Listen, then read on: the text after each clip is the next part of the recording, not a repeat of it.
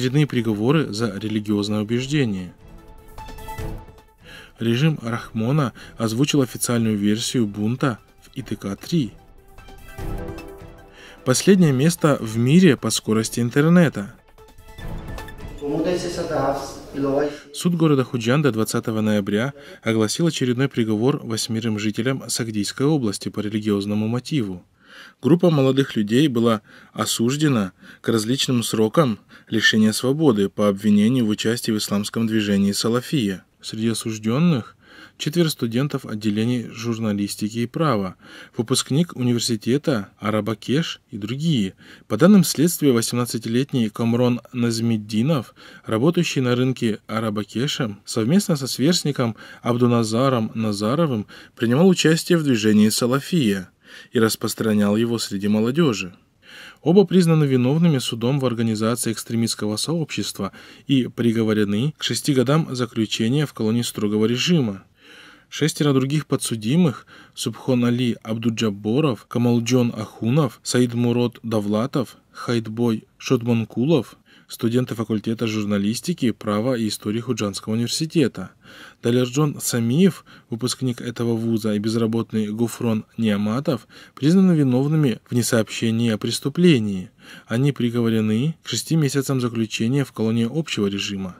Отметим, что режим в Таджикистане всячески отрицает существование в стране притеснений и преследований за ислам, но в то же время суды продолжают выносить приговоры по сфабрикованным уголовным делам, имеющим религиозный мотив. 19 ноября Комиссия США по вопросам международной религиозной свободы USCIRF опубликовала отчет, за 2017 год стран нарушителей религиозных свобод, в котором Таджикистан третий год подряд оказывается в черном списке. В 2017 году, отмечает автор отчета, усилился контроль за религиозной деятельностью и людьми с внешне выраженной религиозной принадлежностью, наличие бороды и хиджаба. За отчетный период исследователи зафиксировали ограничения в сфере религиозного образования и попытки ограничить празднование религиозного праздника Иди Рамазан. Отчет состоит из 221 страницы, 9 из которых отведено ситуации с религиозными свободами в Таджикистане. В отчете приводится факт оскорбления чувств верующих со стороны государственного служащего. Несмотря на то, что чиновник позже принес извинения перед прихожанами, мечеть, на территории которой произошел инцидент, была закрыта. Представители Комитета по делам религии Таджикистана утверждают, что исследователи в своем отчете ссылались на информацию желтой прессы, поэтому сомневаются в его достоверности. یعنی موافق شریعت اید نگذاشتن نماز و قربانی کردن است После долгого молчания по поводу инцидента, произошедшего 7 ноября в одной из исправительно-трудовых колоний на севере Таджикистана, режим наконец сделал официальное заявление по этому поводу.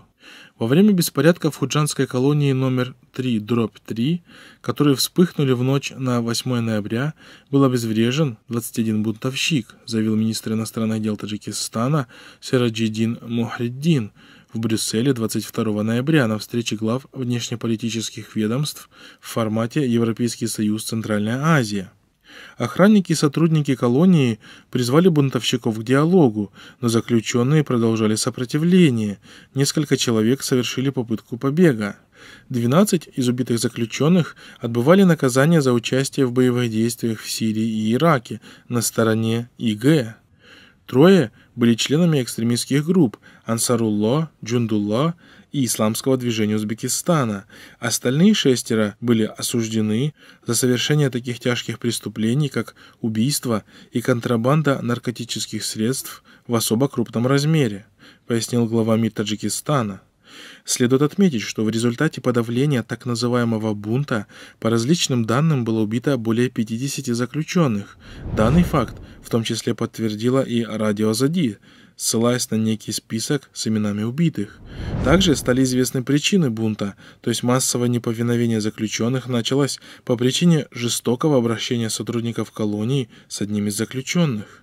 Редакция Хабархо обратилась с просьбой прокомментировать связанную с так называемым «исламским следом» официальную версию властей к недавно освободившемуся из мест лишения свободы по имени Адил, отбывавшему срок по обвинению в ведении религиозной активности. Дела с соблюдением прав заключенных в исправительных учреждениях Таджикистана всегда были на очень низком уровне. Вернее, заключенный, кроме права получать передачи и свидания с родными, практически не имел больше никаких прав. Права заключенных по религиозным мотивам, начиная с 2011-2012 годов, начали ущемлять еще больше. Дошло до того, что в последнее время совершение утреннего намаза уже считалось нарушением и влекло за собой наказание. Несколько десятков заключенных за религиозные убеждения за последние пять лет были осуждены уже во время отбывания срока по сфабрикованным делам. Эту практику позаимствовали у соседнего Узбекистана.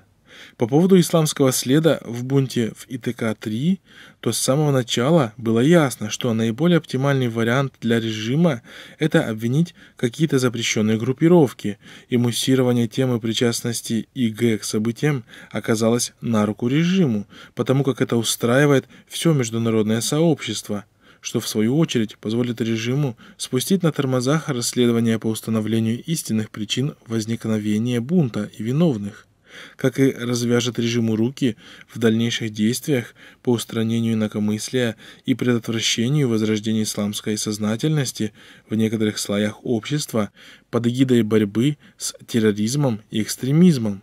Сам факт назначения на должность начальника ГУИ-УН, бывшего зама председателя ГКНБ, говорит уже о многом. Напомним, 23 ноября Изатулло Шарифзада, замминистра юстиции и начальник Главного управления исполнения уголовных наказаний Таджикистана, был отправлен в отставку, а на его место начальником ГУИ ОН Минюста был назначен зампредседателя ГКНБ Таджикистана Мансурджон Умаров. В рейтинге по скорости мобильного интернета за октябрь текущего года, по данным Speed Test Global Index, Таджикистан занял последнее место в мире. Заняв 124-ю позицию рейтинга, Таджикистан пропустил вперед такие страны, как Афганистан, Ирак, Алжир, Венесуэлу и Гану. Узбекистан занял 110 место. Киргизия расположилась на 94 строчке. Лучший же мобильный интернет среди стран Центральной Азии оказался у Казахстана, 74 место. Он сумел обойти даже Россию, у которой 80 позиция. По данным январского отчета маркетинговых агентств UR Social и Hootsuite о глобальном цифровом пространстве, в Таджикистане доступом к интернету обладают 33% населения. В Центральной Азии ниже показатели только у Туркмении – 18%. 2030 веб-сайтҳои интернети 9400 профилҳо ва 4200 видеороликҳои хусусияти экстремист дошта ошкору блокбандӣ карда шуданд. Отметим, что власти Таджикистана часто блокируют доступ к популярным соцсетям и независимым новостным сайтам. Последний такой инцидент произошел 6 ноября, когда после митинга протеста в Хароге пользователи не могли зайти на эти ресурсы даже с помощью анонимайзеров. Накануне запуска первой очереди Арагунской ГЭС доступ к интернету вернули – по информации местных СМИ, это было сделано, чтобы обеспечить широкое освещение запуска гидроэлектростанции. Наблюдатель отмечает, что скорость интернет-трафика заведомо занижается властями в целях обеспечить себя оправданием в случае необходимости блокировки неугодных интернет-ресурсов. Мол, мы здесь ни при чем, все претензии к провайдерам. то бартараф кардани шунари камбуҷо боздошта шуд.